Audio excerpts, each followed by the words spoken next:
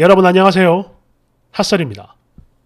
이번 시간에는 그러니까 남편이랑 이혼한 것도 아닌데 자기 시어머니한테 차단을 당해버린 전대 미문의 며느리 데리고 왔습니다. 어, 그럼 봅시다.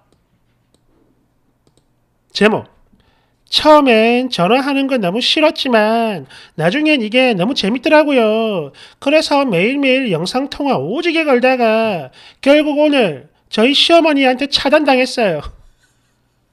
원재, 나 오늘 시어머니한테 차단당했다. 여러분 안녕하세요. 저는 그냥 평범한 애들 엄마, 한 남자의 아내이자 한 집안의 며느리입니다. 참고로 둘째는 아직 뱃속에 있어요. 다름이 아니고 바로 오늘 제가 저희 시어머니한테 차단을 당한 것 같은데 좀 억울해서 글 써봐요. 본문은 빠른 전달을 위해 음슴체. 그러니까 제가 결혼하고 아기가 태어나기 전부터 저희 시어머니는 맨날 전화해라 전화해라 이렇게 안부 전화를 요구했던 사람입니다. 물론 당신 스스로 걸기도 했고 말이죠. 그랬는데 제가 아이를 낳으니까 진짜 단 하루도 안 쉬고 매일매일 페이스톡을 걸어가지고 기본 30분 이상 통화를 해대는 거예요. 영상통화. 물론 이때부터 저한테 하라는 소리는 안 했지만 그럼 뭐해 당신이 매일 하는데 아 물론 인생 첫 손주니까 처음엔 저도 그러려니 이해를 했어요.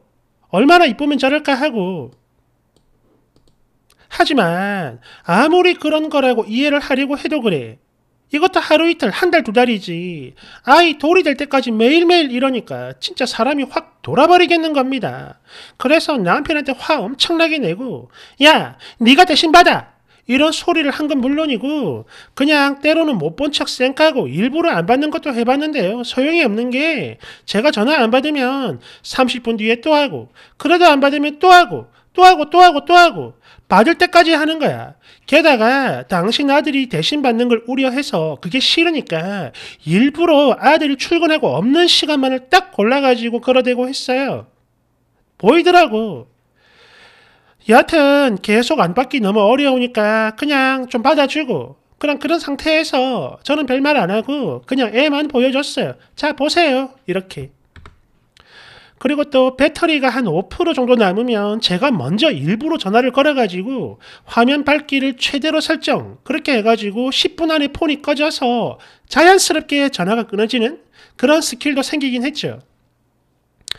그랬는데 저희 큰애 돌이 되니까 당신도 슬슬 지치는 건지 매일 걸어오던 페이스톡이 뭐 3일에 한 번, 나흘에 한 번, 그리고 두 돌쯤 되니까 일주일에 한 번, 2주에 한 번, 한 달에 한 번. 무슨 말이냐? 전화 걸어오는 텀이 점점 길어진다 이거예요. 매일매일 하다가 이제 보름이 지나도 안 해. 그런데 문제는 바로 저였어요. 좋든 싫든 간에 이쯤 되니까 저절로 페이스톡에 완벽한 적응을 했고 아니 길들여졌다고 해야 되나 여하튼 또 당신이랑 통화를 2년 동안 계속 하다 보니까 나름 뭐 이런저런 이야기하는 게 좀 은근히 재미가 있더라고요. 예를 들어 옆에 아버님 안 계시면 당신 남편 욕 오지게 하고 그렇게 2년 동안 이렇게 지내니까 뭐랄까 우리 사이가 그럭저럭 많이 친해졌다고 해야 되나? 좋더라고. 어. 그랬는데 당신이 나를 그렇게 만들어 놓고 시간이 가면 갈수록 점점 전화를 안 하는 거야. 물론 솔직히 말씀드리면 처음엔 저도 이게 되게 편하고 좋았어요. 하지만 그것도 잠시야. 얼마 지나지 않아서 이게 너무 허전하고 심심한 거야. 가뜩이나 코로나 때문에 어린이집 입소대기 취소하고 이때 코로나가 좀 심할 때입니다. 작년쯤. 또 임신까지 한 몸이다 보니까 이 무거운 몸으로 큰 애를 데리고 밖에 나가기도 너무 무섭고 그래서 아이랑 하루 종일 같이 집에 있는데요. 어머님이 전화를 안 하니까 심심하잖아. 사실 그래요. 조금 쪽팔리는 얘기지만 저는 친구가 별로 없어요. 왜냐하면 학창 시절에 왕따를 당한 게 있고 그게 제일 크죠. 아 물론 대학 동기들이 따로 있긴 하지만 얘들 지금 전부 다 미혼이고 그래서 뭐 대화를 하려고 해도 공통된 그런 주제가 없어. 그러다 보니까 딱히 대화를 할 것도 없고 아니 그냥 그 자체가 재미가 없어요. 나는 아이 얘기, 지는 일 얘기. 뭔 재미가 있겠어 서로가. 그러니 한번 통화하면은 단시간에 또 걸기가 좀 그래요. 음. 그리고 얘들한테 좀 미안하니까 이젠 아이 사진, 영상 통화 이런 거 안 합니다. 재미가 없죠? 시어머니하고 맨날 했는데. 그리고 저희 엄마 아빠의 경우 두 분이 같이 사업을 하시는데요. 낮에 전화하기가 좀 그래요. 하면은 아이고 씨, 바쁘다 끊어라 이러면서 탁 끊어버려. 물론 언니하고는 되게 친하기 때문에 평소 통화를 좀 하긴 합니다.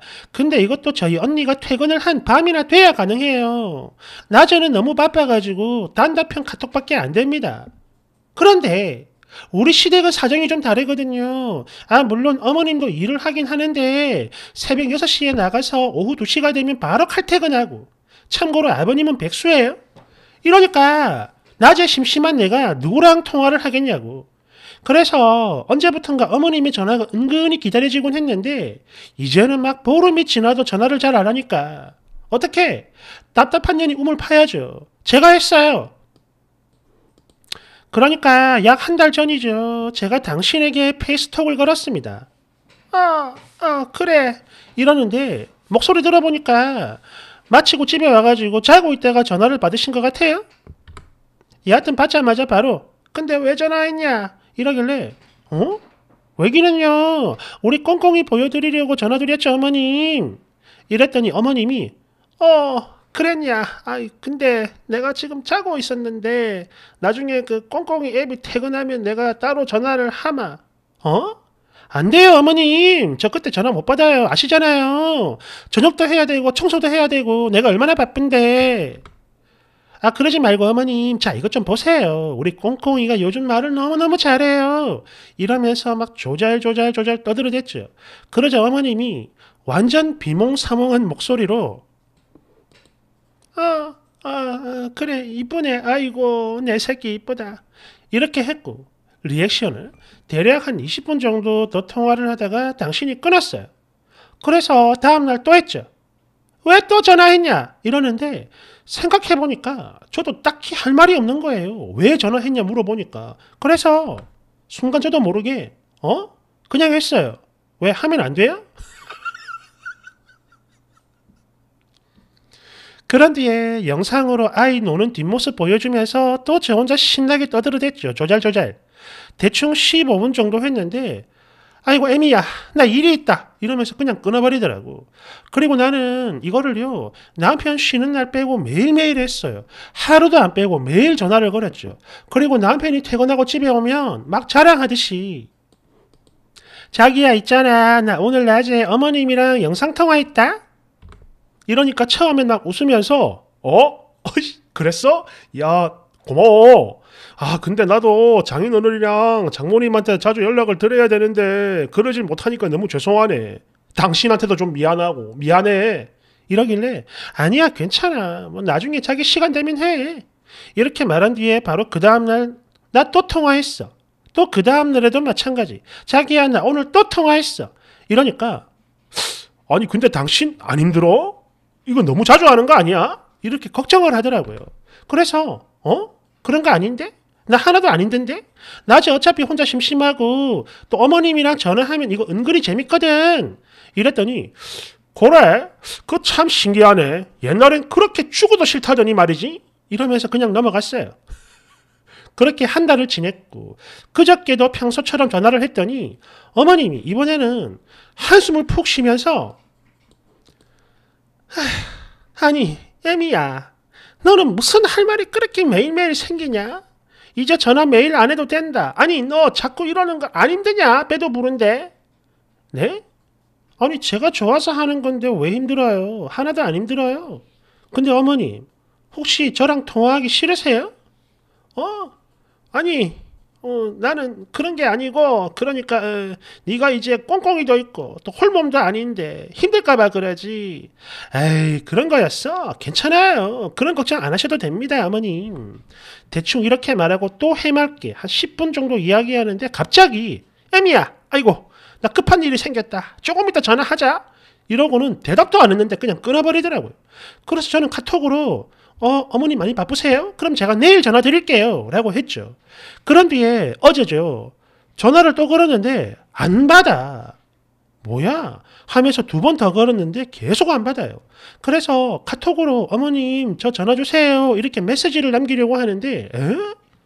내가 그 전날에 보냈던 톡을 아직도 안 읽었네요. 그래서 아 뭐야 이상하다 이상하다 이건 뭐지 이건 뭐지 하다가 조금 전에 하루가 더 지나서 또 전화를 했는데 역시나 이번에도 안 받더라고. 물론 제가 보냈던 카톡 1이 아직도 안 사라지고 있고요. 순간 헉 하는 마음에 어머님 프로필 사진을 보는데 헐 프사가 달라져 있어. 진짜 설마 설마 하면서 차단 확인 어플을 깔아서 보니까 초대가 안 돼요. 나 진짜로 차단당한 것 같아. 아니 이럴 목적은 아니었는데 이거 어쩌면 좋죠? 그리고 나중에 남편 집에 오면 뭐라고 말해야 돼? 댓글 1번. 헐 뭐? 차단을 당했다고? 미친 졸라 웃기네. 끌끌. 딱 그거구만. 시모가 싫다는 며느리한테 2년 동안 억지로 아니 강제로 조교를 한 뒤에 아 이거 있냐 강해져서 다시 돌아와라. 이거 시전했는데 진짜로 강해져 가지고 돌아온 거요. 감당이 안 되네 2번 이럴 목적은 아니었대 끌끌 진짜 웃기는 세대기네 3번 이럴 목적은 아니었다는 말이 진짜 속상해 보입니다. 그래요. 쓰니는 슬프겠지요. 근데 우리는 너무 웃겨. 그래서 하는 말인데 혹시 평소에 시모 전화 스트레스 받는 며느리들 이거 보고 따라해봤으면 좋겠다라는 생각이 들어요? 너무 완벽해. 4번 처음엔 시어머니에 대한 복수이자 심술이었지만 하다 보니까 나중에 진짜 재미 들린 거 아니야? 맞는 것 같아. 재밌었죠? 5번 아 저도 예전에 이런 방법 쓴 적이 있어요. 물론 쓴이랑 달리 나는 완전한 의도를 가지고 한 거지. 복수한 거. 뭐 여러 가지 방법이 있지만 그 중에 제가 제일 많이 한 건 바로 이거예요. 당신 잠자는 시간에 용통 걸기. 그랬더니 나중엔 완전 시겁을 하고 아예 받지도 않더라고요. 물론 당신이 거는 일도 싹 다 사라져 버렸습니다. 6번. 그러니까 이것은 며느리한테 단단히 질려버린 거구만. 그렇구만. 그런데 써니가 아쉬워하는 거 보니까 너무 웃긴다. 아이고 그래요. 통화 친구를 잃어버려가지고 이제 어쩐답니까? 어? 이거는 뭐 복수도 아니고 그렇다고 복수가 아니라고 하기도 그렇고 뭐요 이게? 7번 아들 전화를 걸어가지고 뭐야 어머님 혹시 저 차단하셨어요? 이렇게 대놓고 물으면 뭐라고 할지 완전 궁금하다. 내 댓글 그 할머니 눈치가 있는 사람이면 아들 전화도 안 받을 겁니다. 끌끌끌.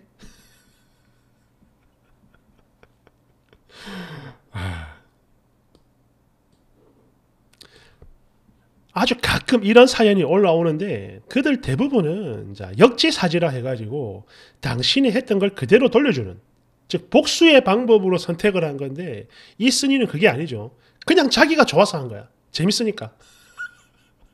그래서 더 불쌍해. 이제 어떻게 이게? 아 대단합니다. 음. 그래요. 뭐 어떡하겠어. 어, 뭐 잘 풀어가지고 전화 통화 계속 하세요. 음. 감사합니다.